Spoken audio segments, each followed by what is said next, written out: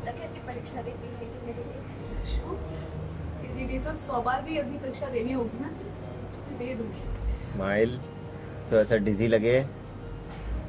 लशु पता नहीं तूने तो कुछ खाया ही नहीं अब तक तो रुक लशु तो बैठ हाँ। मैं तेरे लिए अभी प्रसाद लेकर आती हूँ। तू बैठ ध्यान रख अपना। क्या कब से कुछ कहना चाह रहे हैं?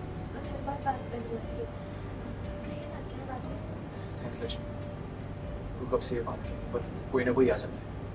कहीं और चले। वरना अभी कोई आ जाए। हाथ पकड़ा।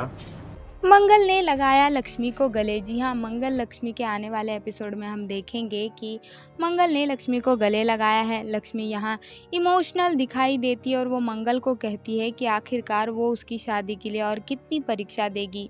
मंगल लक्ष्मी को कहती है कि वो उसे खुश देखने के लिए कुछ भी कर सकती है। यहाँ लक्ष्मी ने कुछ खाया नहीं होता इसलिए मंगल लक्ष्मी के लिए खाना लाने जाती है। उसी बीच कार्तिक वहाँ आ जाता है। कार्तिक को देख लक्ष्मी उससे पूछती है कि आखिरकार कार्तिक को उससे क्या बात करनी है?